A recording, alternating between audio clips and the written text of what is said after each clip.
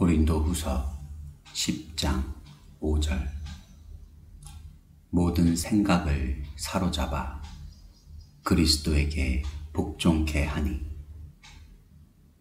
이 구절 또한 성도가 쉬지 않고 싸워야 하는 부분을 말하고 있습니다.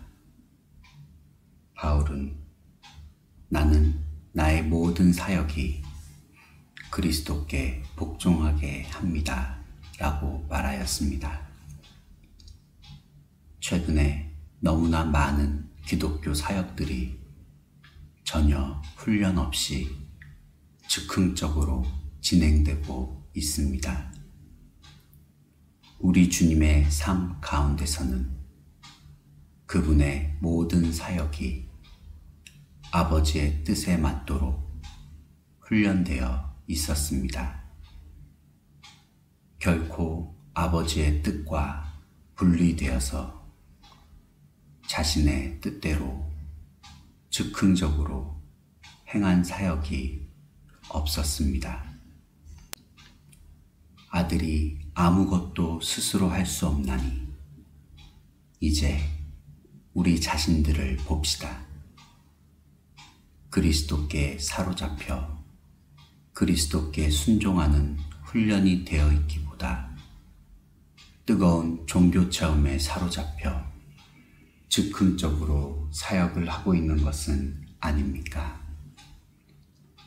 지금은 실용적인 사역들이 너무나 강조되고 있습니다. 모든 사역을 주님께 복종시키려는 신자들을 향해 오히려 하나님과 영혼을 향한 열정이 부족하다고 비난하는 세대입니다.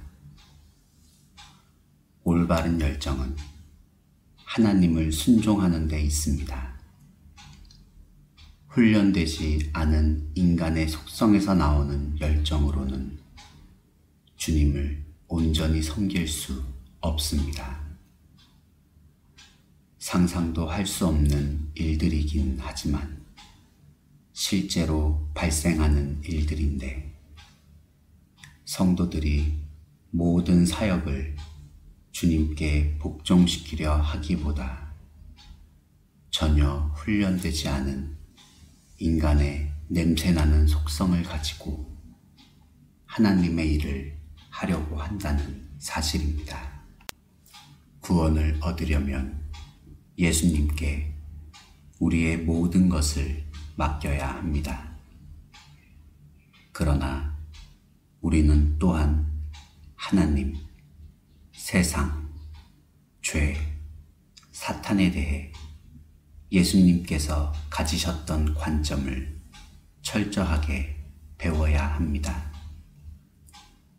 이는 우리가 우리의 생각을 새롭게 함으로써 우리 자신을 변화시켜야 할 책임이 있음을 인식해야 한다는 뜻입니다.